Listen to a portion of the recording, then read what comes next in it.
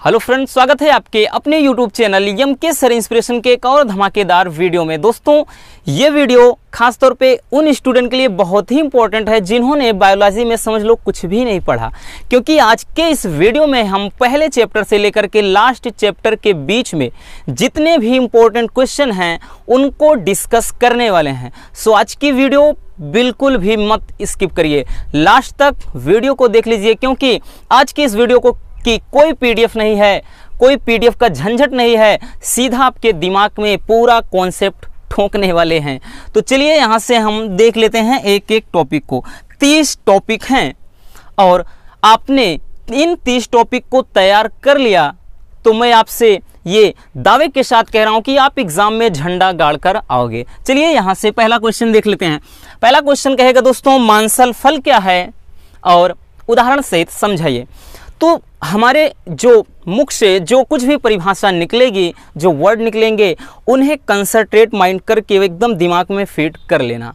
तो मांसल फल, मांसल का मतलब ही होता है मांस यानी गूदा। मांसल फल किसे कहते हैं? ऐसे फल, जिसमें जो फल भित्ति होती हैं, सरस और गूदेदार होते हैं। सरस का मतलब रस से भरे हुए, गूदेदार का मतलब जिसमें मांस की तरह दिखाई पड़े। तो ऐसे फल, जिनकी फल भित्ति सरस होती है और गूदेदार होती है, उसे कहा जाता है दोस्तों, मांसल फल। तो ऐसे फल कौन से हैं? तो सबसे इम्पोर्टेंट भाई इसका एग्ज़ाम्पल हो जाता है आम। आम से बढ़िया क्या हो सकता है? आम से अच्छा कुछ भी नहीं हो सकता है, ये आएगा मांसल फल। और मांसल फल का पूछा जाता है कि इसकी विशेषता, देखिए मांसल फल की बात करें तो मांसल फल में क्या होता है कि ये सड़ने के बाद भी इनके बीज काफ़ी समय तक संरक्षित रहते हैं। जैसे आम हो गया, आम सड़ भी जाए, लेकिन उसकी गुठली क्या है? अधिक दिनों तक सुरक्षित रहती है। तो ये हो गया मांसल फल। अगला है, आभासी फल किसे कहते हैं? तो आभासी फल क्या होते हैं? ध्यान से सुनना परिभाषा। ऐसे फल ऐसे फल जिनका निर्माण अंडाशय से ना हो करके फल के सॉरी ऐसे फल जिनका निर्माण अंडाशय से ना होकर के किसी अन्य भाग से होता है, उसे कहते हैं, क्या कहते हैं दोस्तों? आभासी फल या फाल्स फ्रूट या मिथ्या फल। ठीक ना? तो परिभाषा समझ में आ गया, ऐसे फल जिनका निर्माण अंडाशय से ना होकर के किसी अन्य भाग से होता है, उसे कहेंगे आभासी फल। इसके अंदर कौन कौन सा आ जाता है? सेब। सेब आ जाता है ठीक है ना? और यहाँ से स्ट्रॉबेरी ठीक ना? या स्ट्रॉबेरी कहते हैं। ये आ जाएगा आभासी फल में ठीक? तो आभासी फल हो गया। एक और आता है अनिश्चेक फलन उस पर हमने बता दिया। अनिषेक फलन क्या होता है? कि ऐसे फल जिनका निर्म, जो निर्माण होता है अंडाशय से ही बिना निषेचन के हो। बिना निषेचन के हो जाए तो अनिषेक फलन कहते हैं। और एक और है बहुभ्रूणता। बहुभ्रूणता क्या होते हैं? ऐसे ऐसे जो फल होते हैं, जिनमें एक से अधिक भ्रूण हो, उसे बहुभ्रूण फल कहते हैं और इस प्रक्रिया को बहुभ्रूणता कहते हैं, ठीक? तो समझ में आ गया? मांसल फल और आभासी फल। चलिए, अब देख लेते हैं, अंड जनन क्या है? भाई साहब, ये लांग में भी पूछेगा और आ गया छोटे में तो कैसे? तो अंड जनन कोशिकाओं से, अब अंड जनन कोशिकाएँ क्या होगी? अंड जनन कोशिकाओं से अंडाणु के बनने की प्रक्रिया को कहा जाता है अंड जनन अब अंड जनन कोशिकाओं का मतलब क्या है? अंडाशय है।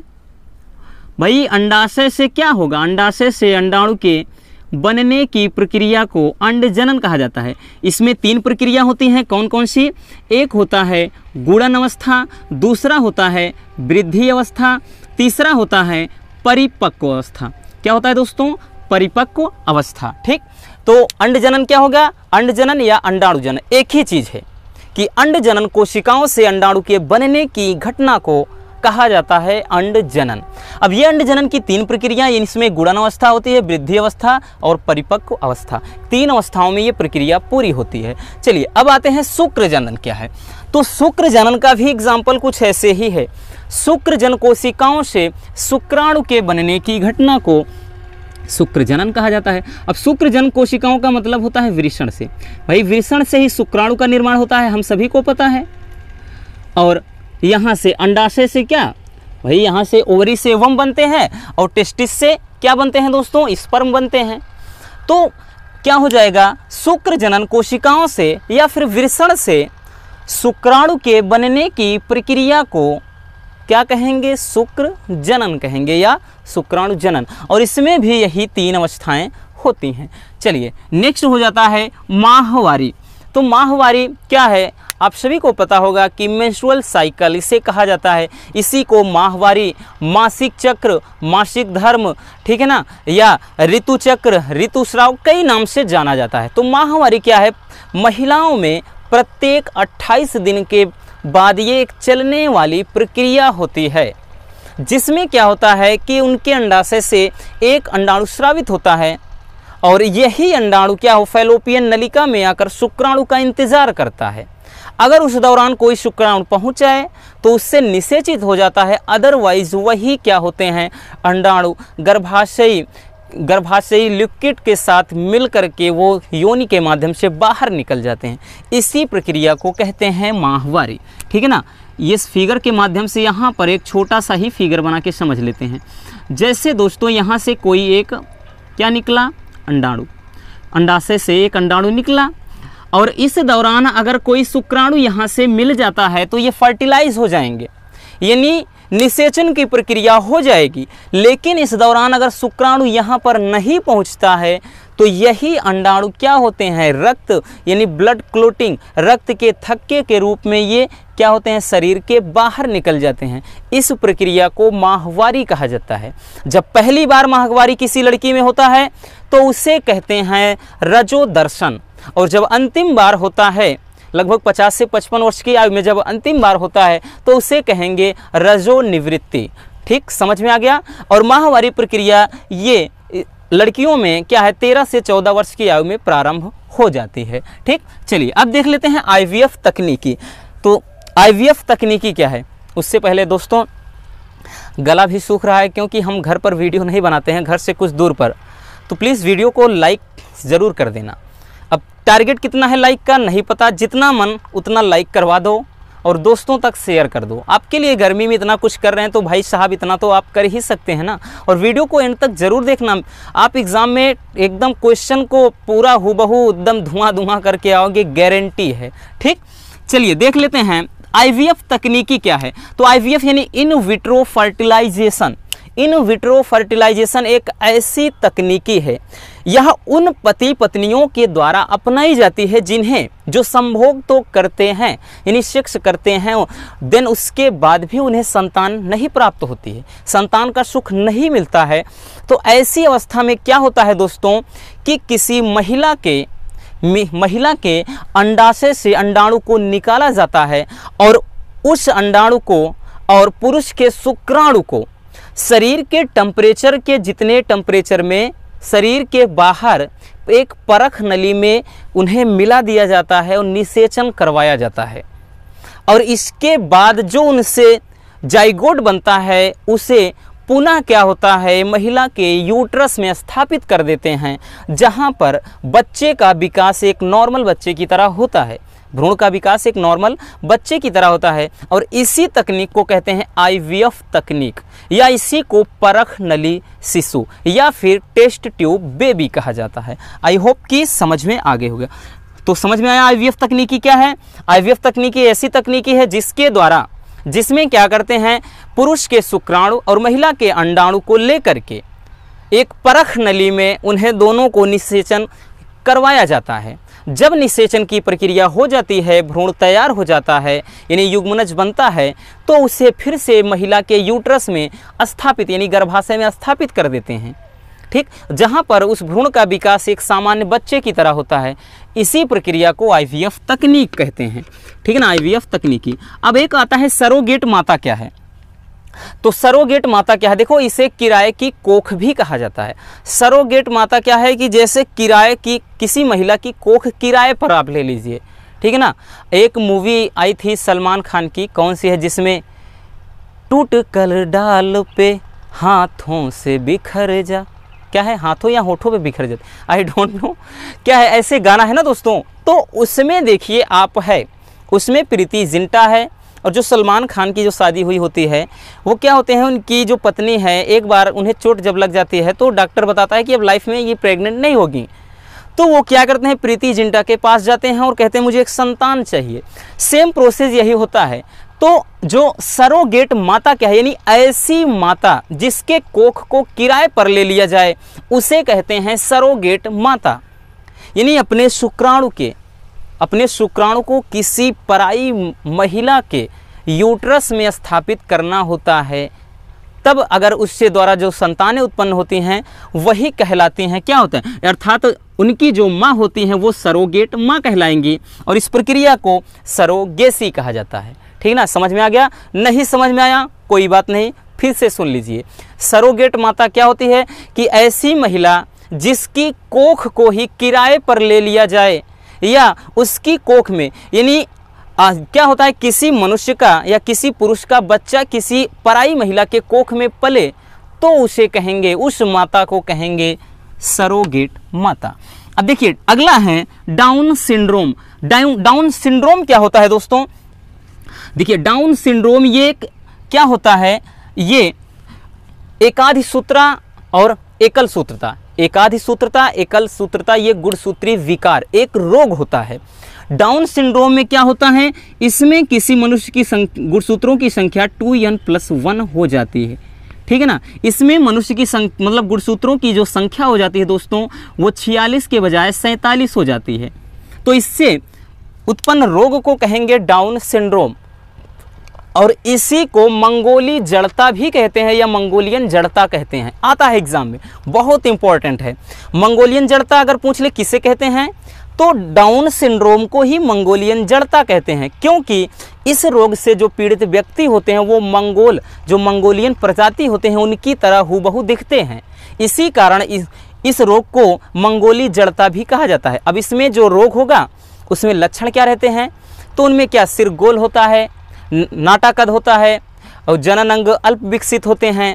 गर्दन मोटी होती है, हाथ में जिस त्वचा खुरदुरी होती है तो ये सभी क्या है? उनमें प्रॉपर्टीज़ यानी उनके लक्षण दिखाई पड़ते हैं। ठीक? तो डाउन सिंड्रोम क्या है? तो डाउन सिंड्रोम यह एक ऐसी बीमारी है जिसमें मनुष्य की गुणसूत्र, जो गुणसूत्र की संख्या हो जाती है टू एन प्लस वन हो जाती है। बस इतना लिखना है। ठीक? टू एन प्लस वन या सैंतालीस हो जाती है। और इसे मंगोली जड़ता इसलिए कहते हैं क्योंकि इससे उत्पन्न जो, इस रोग से उत्पन्न पीड़ित जो व्यक्ति होंगे, वो मंगोलियों की तरह दिखाई देते हैं, इसलिए मंगोली जड़ता कहेंगे। टर्नर सिंड्रोम क्या है दोस्तों? ये भी इसी से रिलेटेड, लेकिन इसमें क्या है? गुणसूत्रों की संख्या टू एन माइनस वन हो जाती है। तो इसे कहेंगे टर्नर सिंड्रोम। तो ये छोटी छोटी टिप्पणियाँ होती हैं, दो नंबर में सब, सारे के सारे क्वेश्चन दो नंबर में आते हैं। ठीक? तो यहाँ से क्या हो जाएगा? टर्नर सिंड्रोम, समझ में आया? तो ऐसे यह अर्थात यह यह भी क्या होता है? एक गुणसूत्री विकार के द्वारा उत्पन्न रोग है, जिसमें गुणसूत्र की संख्या टू एन माइनस वन, या फिर कह लें गुणसूत्र की संख्या पैंतालीस हो जाती है। तो इनमें भी जो लक्षण होते हैं, लगभग इन्हीं के जैसे दिखाई देते हैं। अब आता है वर्णांधता। वर्णांधता एक यक्ष सहलग्न रोग है। यक्ष सहलग्न रोग है। अर्थात यह एक यक्ष सहलग्न रोग है, जिसमें व्यक्ति को क्या है? कुछ विशेष रंग जैसे लाल और हरा में वो अंतर नहीं कर पाता है। ठीक? यह यह सहलग्न रोग है जिसमें लाल और हरे में वो अंतर नहीं कर पाता है। ठीक है ना? और इसी कारण ऐसे व्यक्ति क्या होते हैं दोस्तों? ऐसे व्यक्ति ना तो रेलवे में जॉब कर सकते हैं ना तो ये पेंटर बन सकते हैं, ठीक है ना? और ना ये अदर जहाँ पर सिग्नल ना तो सिग्नल पर रह सकते हैं। क्योंकि भाई, लाल के बजाय हरी झंडी दिखा दिए तो क्या होगा? तब तो एक्सीडेंट हो गया, रब्बा रब्बा। ठीक है ना? तो यही होगा। तो हीमोफीलिया क्या है? तो हीमोफीलिया भी क्या होता है दोस्तों? ये भी क्या है? यक्ष सहलग्न रोग होता है। हीमोफीलिया अब देखो, यक्ष सहलग्न रोग कहते किसे हैं? तो अर्थात ऐसा रोग जिनके जीन यक्ष गुणसूत्र के असमजात खंड पर होते हैं, उन्हें यक्ष सहलग्न रोग कहते हैं। या यक्ष सहलग्न गुण भी आते हैं, लक्षण भी आते हैं, है वही चीज़। ठीक? तो ये भी क्या है दोस्तों? यक्ष सहलग्न है। यक्ष सहलग्न रोग होता है, जिसमें यक्ष सहलग्न रोग होता है। जिस इसमें क्या होता है दोस्तों कि इसमें व्यक्ति को चोट लग जाने के बाद रुधिर का प्रवाह बंद नहीं होता है। क्योंकि जनरली किसी व्यक्ति को चोट लग जाए तो पाँच मिनट के अंदर ही रुधिर का थक्का बन जाता है। लेकिन इसमें क्या होता है, जब किसी व्यक्ति को चोट लग जाता है तो रुधिर का थक्का जल्दी नहीं बन जाता है, जिसके कारण अधिक रुधिर बहने से रोगी की मौत हो जाती है। और इसी पूछा जाता है कि हीमोफीलिया को ब्लीडर रोग क्यों कहते हैं? तो हीमोफीलिया को ब्लीडर रोग इसीलिए कहते हैं क्योंकि इसमें चोट लगने के बाद अत्यधिक रुधिर का स्राव होता है, यानी अधिक रुधिर बहने के कारण रोगी की मौत हो जाती है, जिसे क्या कहेंगे? ब्लीडर रोग कहते हैं। अब व्यसन, अगला देख लेते हैं, व्यसन क्या होता है? देखिए, व्यसन क्या है? व्यसन का मतलब क्या होता है? नशा। अरे, पता नहीं जी कौन सा नशा करता है। अब कौन सा नशा करता है? आई डोंट नो ठीक? तो यहाँ पे व्यसन मतलब नशा, यानी आदत, ना? कि नशा शराब में होती तो नाचती बोतल, ठीक? कि लोग कहते हैं, मैं शराबी हूँ। तो व्यसन होता क्या है दोस्तों? व्यसन का अर्थ हमने बताया, आदत। तो देखिए, जब व्यक्ति किसी औषधि के प्रति जब किसी नश, व्यक्ति नशीली दवाओं या नशीली औषधियों का आदि हो जाता है ठीक है ना? आदि हो जाता है तो इसे कहते हैं व्यसन। ठीक ना? ज़रूरी नहीं कि औषधि औषधियाँ ही हों। नशा तो हर एक चीज़ का होता है। जैसे आप सभी को पढ़ाई का नशा है हमें आप सबको पढ़ाने का नशा है तो भाई साहब हम भी तो नशा कर रहे हैं। तो वही होता है वही चीज़ होता है दोस्तों। व्यसन क्या है कि जब व्यक्ति किसी नशीली औषधियों का आदि हो जाता है। तो इस घटना को कहते हैं व्यसन और ऐसे व्यक्ति को व्यसनी कहा जाता है। ठीक जैसे ड्रग्स, कोकिन, हेरोइन, अफीम, गांजा, चरस, इन सभी का आदि हो जाए। ठीक? अब रोगजनक तो ऐसे कारक जो रोगाणुओं को फैलाते हैं। अब रोगाणुओं को फैलाने वाले कारक रोगजनक कहेंगे तो जैसे जैसे क्या हो जाता है? जीवाणु हो गया, विषाणु हो गया, विषाणु हो गया प्रोटोजोआ हो गया। तो ये सभी के सभी क्या होंगे? रोगजनक? क्योंकि ये रोगों को फैलाते हैं।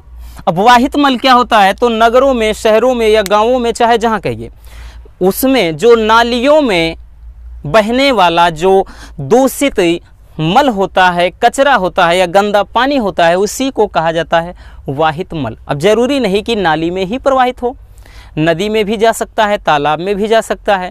तो बस ये ध्यान देना कि नगरों में, गाँवों में या शहरों में जो भी दूषित या गंदा पानी होता है, ठीक है ना, वो कहलाता है वाहित मल, ठीक? अब इसका उपचार किया जाता है किसके द्वारा? बीओडी बीओडी तो यहाँ से बायोकेमिकल ऑक्सीजन डिमांड। ये क्या होता है? परीक्षण किया जाता है। जब बीओडी की मात्रा घट जाए, तब समझ लीजिए क्या है? पानी का शुद्धिकरण हो गया। ठीक? तो ये वाहित मल हो जाएगा। बायोगैस क्या है? तो बायोगैस एक प्रकार के गैसों का समूह होता है। बायोगैस, ठीक है ना? या जैव गैस ये गैसों का एक समूह होता है। ठीक है ना? या गोबर गैस, आप जानते होंगे। ठीक? ये गैसों का क्या है? एक समूह है जिसका प्रमुख घटक होता है मेथेन। ठीक ना? मीथेन का हो या मेथेन? सबसे अधिक मात्रा में इसमें मेथेन या मार्स गैस होती है। ठीक ना? इसे जैव गैस भी कहा जाता है, या गोबर गैस कह लीजिए आप। ठीक? और इसका प्रयोग क्या होता है? खाना बनाने में इसका प्रयोग किया जाता है या प्रकाश उत्पन्न करने में? अगला है जैव उर्वरक। तो जैव उर्वरक, ये एक प्रकार के जीवाणु होते हैं दोस्तों। जैव उर्वरक क्या हैं? एक प्रकार के जीवाणु होते हैं जो मिट्टी की उर्वरक क्षमता को क्या करते हैं? बढ़ाते हैं। ये क्या है? नेचर से, यानी वातावरण से, इस एटमॉस्फेयर से नाइट्रोजन को ले करके उन्हें जो नाइट्रोजन कृत कर देते हैं, यानी उन्हें क्या है? खाद में परिवर्तित कर देते हैं। ऐसे जीव को जैव उर्वरक कहा जाएगा, ठीक? चलिए नेक्स्ट परिभाषा है एंटीबायोटिक या प्रतिजैविक।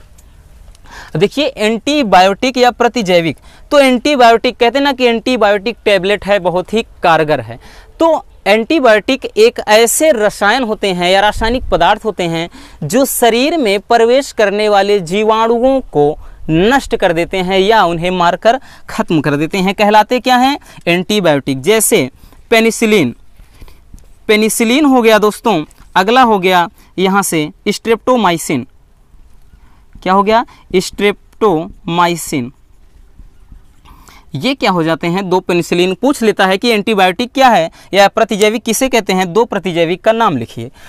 तो समझ में आया? तो ऐसे रासायनिक पदार्थ होते हैं जो शरीर में पहुँचने वाले हानिकारक जीवाणुओं को नष्ट कर देते हैं। अब है जैविक खाद। तो ध्यान देना दोस्तों, जो जैविक खाद यानी ऐसी खाद ऐसी खाद जिसका निर्माण जो घर में कूड़ा, करकट, गोबर, ये फल के छिलके, इन सभी से होता है उसे कहते हैं जैविक खाद। और ये कैसे बनाई जाती है, हम सभी को पता है कि गाँव में एक गड्ढा बना देते हैं, उसमें सब चीज़ें डाल देते हैं। ठीक है ना, जितने भी कूड़ा करकट होते हैं, गोबर होता है, इन सभी को डाल देते हैं, फल या सब्जियों के छिलके होते हैं तो इससे जो खाद बनती है, उसे जैविक खाद कहते हैं। और ये क्या है, हमारे खेतों के लिए या फ़सलों के लिए बहुत ही उपयोगी होती है।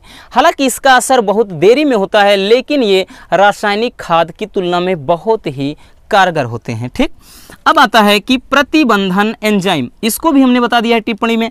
तो प्रतिबंधन एंजाइम क्या होते हैं? ऐसे एंजाइम जो डीएनए खंड को विशेष स्थान से काट देते हैं। जैसे ये क्या है? डीएनए की श्रृंखला है।